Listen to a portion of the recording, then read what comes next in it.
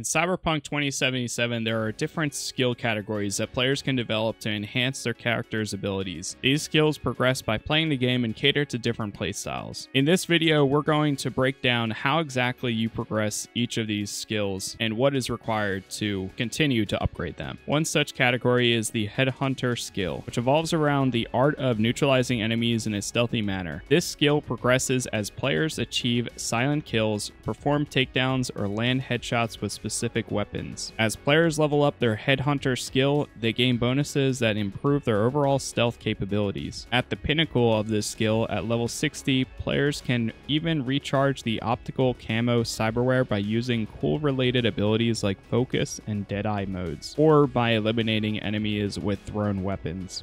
On the other hand, the Netrunner skill is dedicated to hacking and quick hacks. Players earn Netrunner skill XP by executing quick hacks, successfully breaching systems, or eliminating adversaries using quick hacks or smart weapons. Advancing in this skill category provides benefits such as faster RAM recovery, increased quick hack damage, and quicker smart weapon lock-on. Once players reach level 60 in Netrunner skill, they gain access to overclocking, a powerful ability that reveals nearby enemies and allows for quick hacks through walls and cover. This is my personal favorite. For those who prefer a more agile and mobile playstyle, the Shinobi skill is designed for them. Shinobi focuses on achieving kills while remaining highly mobile, including actions like sliding, dodging, dashing, and use unique cyberware and melee attack. At level 60 of the Shinobi skill, players unlock a significant bonus having Sandevistan active increases their crit chance by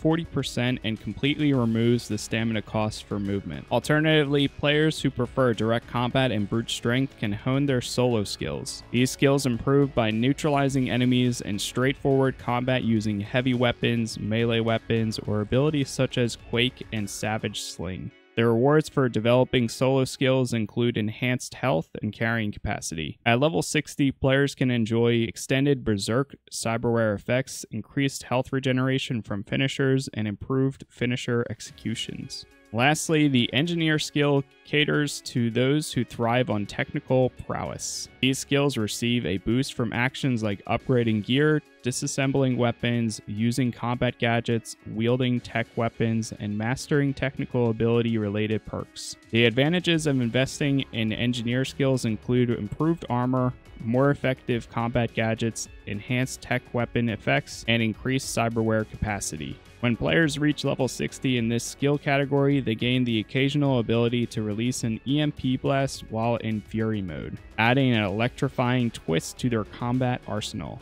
And that is a quick breakdown of how to advance each of these skill trees. If this video helped you out, be a choom and leave a like on it, subscribe for more like this, and stop by the live stream sometime. Thanks for watching.